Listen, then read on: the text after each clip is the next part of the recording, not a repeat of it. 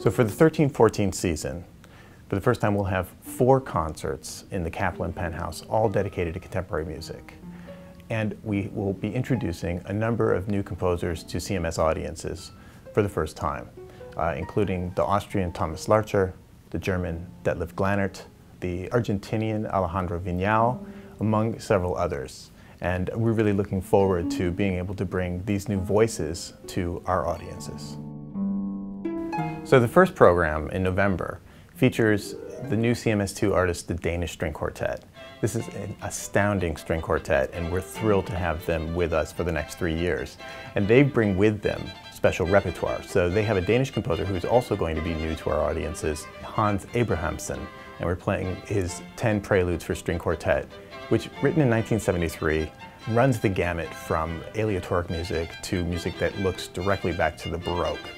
Um, in addition to that, they'll join CMS artists for a couple of other pieces, one of which would be Osvaldo Golijov's The Dreams and Prayers of Isaac the Blind for clarinet and string quartet.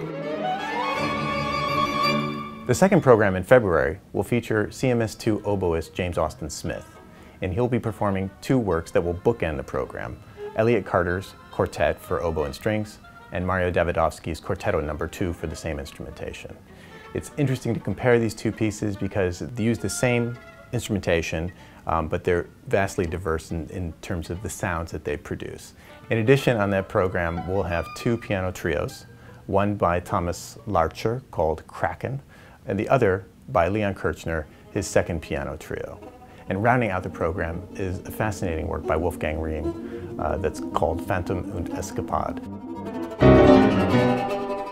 The April program is really built around percussion and CMS2 artist Ian Rosenbaum. He's brought to us a piece by Alejandro Viñao, the Argentinian composer, named Khan Variations. This is a piece for solo marimba, and we heard it in his audition and we're so thrilled with this piece and his complete mastery over it.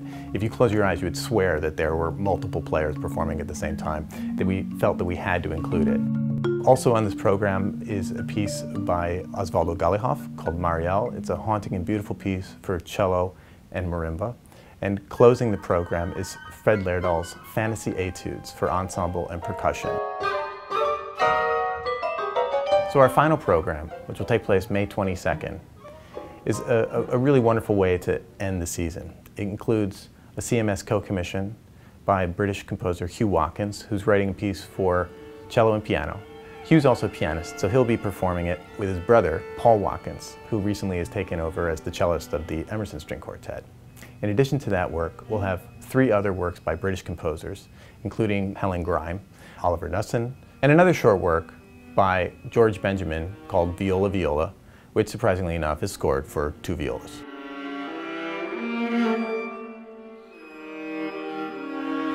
The final work on the program is a very special piece by Alfred Schnittke. It's simply called String Trio. It's meditative, it's reflective, there's mournfulness to it, but there's also a sense of possibility.